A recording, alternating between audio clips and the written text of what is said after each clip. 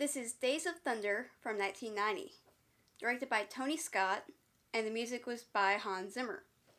The cast is Tom Cruise, Nicole Kidman, and Robert Duvall. Uh, the film is about in the fast-paced world of NASCAR, a rivalry brews between rookie hotshot Cole Trickle and veteran racer Rowdy Burns.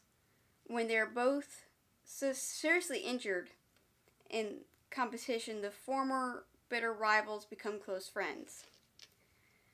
The film was good, could have been better, and actually could have been longer. They didn't have a script, which is why I think it could have been better. It was just sometimes it just felt disjointed. And they were making up on up that particular day, wherever the day they were filming. NASCAR driver Greg Sacks did most of the driving for Tom Cruise. Cruise wanted to, but wasn't allowed because of insurance reasons. 35 cars were wrecked throughout the film. All cars had to pass inspection and qualify. I wanted to see more of the relationship between Claire and Cole, and the relationship between Cole and Rowdy.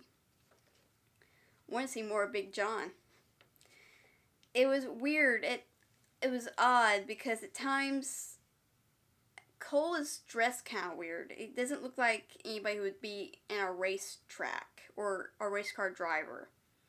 It just looks like he walked off the set of The Firm or Mission Impossible set, and it does just doesn't match. If that makes any sense. And kind of sound really stupid, but I don't like Cole's last name, Trickle. I wish that Cole apologized to Claire as well, not just Harry. I love the wheelchair race between Cole and Rowdy. That was really fun, funny with the nurses trying to keep up with them.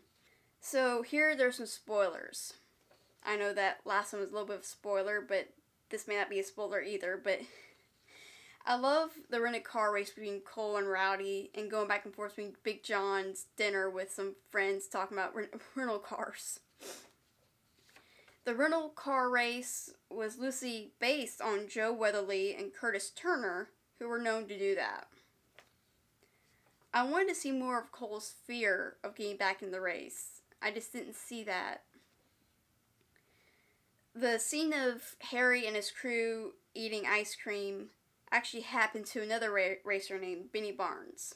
I wanted to see the, the full run of Cole and Harry running to the winner circle and not the screen freezing and going to the credits.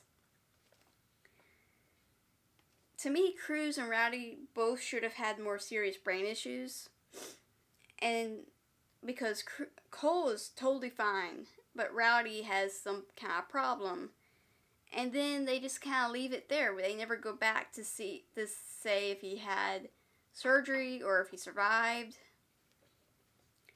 The film was okay. Sometimes, though, it just felt like nobody wanted to be there and like they weren't totally into it, probably because they didn't have a complete script and they were making it up on the day they were filming. Feels like the screenplay writer Robert Towne, the director Tony Scott, and Tom Cruise just heard a bunch of racing stories and threw a film together. And that's just what it felt like to me. Maybe that's just me. And what did you think?